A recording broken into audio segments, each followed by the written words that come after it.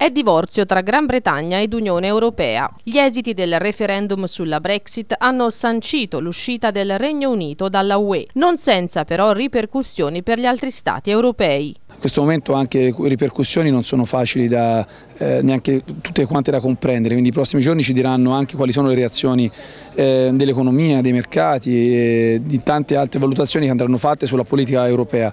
L'Italia chiaramente deve in questo momento avere la forza insieme agli altri paesi che guidano in questo momento politicamente l'Unione Europea di eh, trovare soluzioni per un'Europa più moderna e più solidale. Questo sicuramente è l'obiettivo perché bisogna tornare a politiche che i cittadini, i popoli comprendano molto meglio di quanto accaduto fino ad oggi.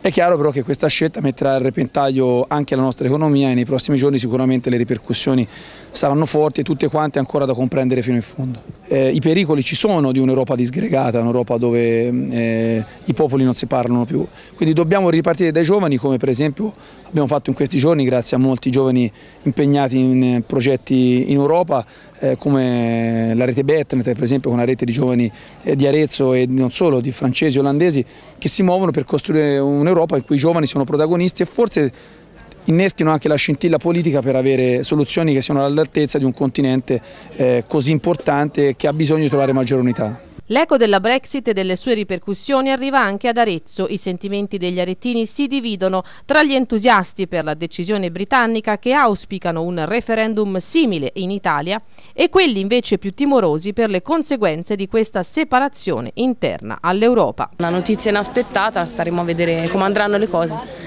Hanno espresso il loro voto, il loro, il loro, il loro parere, quindi vediamo, insomma per l'economia è una bella batosta. Fatto bene. Avrebbe fatto anche in Italia un referendum simile? Io voterei per uscire. Staremo male, ma almeno forse ci riprendiamo, se no noi andiamo tutti sottoterra. Secondo me è un male, secondo me. Perché ora, a parte che ora, non lo so, nel giro dell'anno due verranno fatti i passaporti, tutte le cose. E poi anche per, diciamo anche per l'economia non credo che sia un vantaggio. Da una parte sono a favore, da una parte no. Però diciamo, noi non ci si può fare niente. Mi auguro che non venga dietro altre nazioni. Speriamo bene perché ho paura che dia una botta all'economia che in questo momento non, non, non, fa bene, non farebbe bene né all'Europa né tantomeno all'Italia. tutti nel baratro dal mio punto di vista, perché già ieri le borse sono crollate. Se l'Inghilterra non si stabilizza si rischia che crolli tutta l'Europa.